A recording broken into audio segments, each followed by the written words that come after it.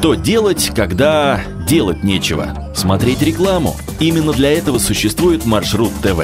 Ну и действительно, чем заняться человеку, который едет в маршрутке?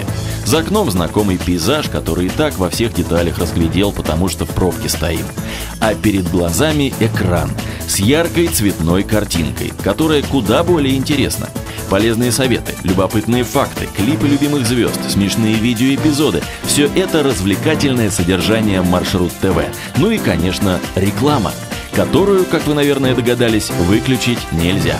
А что делать, когда и выключить нельзя, и делать нечего? Ну правильно, смотреть.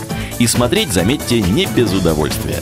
Большинство опрошенных пассажиров положительно реагируют на это новшество.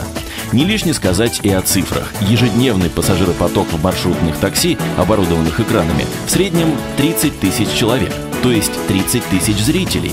В неделю 200 тысяч, а в месяц Отличный рейтинг даже для эфирного телеканала. Причем постоянно высокий рейтинг маршрут ТВ основан на стабильном городском пассажиропотоке и не зависит от успеха той или иной программы, как на обычном телеканале.